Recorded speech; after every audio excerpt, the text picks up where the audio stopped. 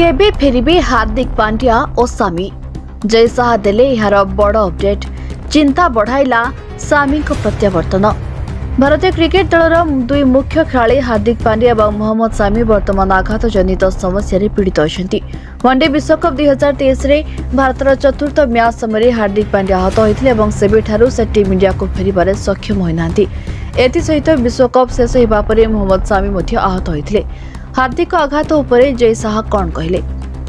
ବାସ୍ତବରେ ମହିଳା premier league ଦୁଇ ହଜାର ଚବିଶ ପାଇଁ ନିଲାମ ଶେଷ ହେବା ପରେ ବିସିସିଆଇ ସଚିବ ହାର୍ଦ୍ଦିକ ପାଣ୍ଡ୍ୟାଙ୍କ ଆଘାତ ବିଷୟରେ ଏକ ଅପଡେଟ୍ ଦେଇଛନ୍ତି ସେ କହିଛନ୍ତି ଯେ ହାର୍ଦ୍ଦିକ ପାଣ୍ଡ୍ୟା ସୁସ୍ଥ ଅଛନ୍ତି ଏବଂ ଆଫଗାନିସ୍ତାନ ସିରିଜ୍ରେ ଟିମ୍ ଇଣ୍ଡିଆ ପାଇଁ ଖେଳିପାରନ୍ତି କହି ରଖିବୁ ଯେ ଜାନୁଆରୀରେ ଟିମ୍ ଇଣ୍ଡିଆ ଆଫଗାନିସ୍ତାନ ବିପକ୍ଷରେ ତିନି ମ୍ୟାଚ୍ ବିଶିଷ୍ଟ ଟି ଟ୍ୱେଣ୍ଟି ସିରିଜ୍ ଖେଳିବାକୁ ଯାଉଛି ଏବଂ ହାର୍ଦ୍ଦିକ ପାଣ୍ଡ୍ୟା ସେହି ସିରିଜ୍ରେ ଫେରିପାରନ୍ତି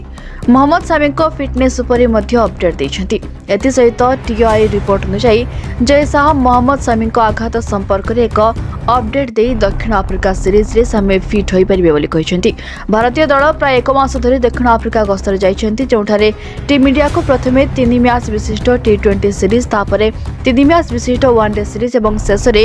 ଦୁଇ ମ୍ୟାଚ୍ ବିଶିଷ୍ଟ ଟେଷ୍ଟ ସିରିଜ୍ ଖେଳିବାର ଅଛି ଏବେ ଦେଖିବାର ଅଛି ଯେ ମହମ୍ମଦ ସାମି ଏହି ଗସ୍ତରେ ବୋଲିଂ ପ୍ରଦର୍ଶନ କରିପାରୁଛନ୍ତି କି ନାହିଁ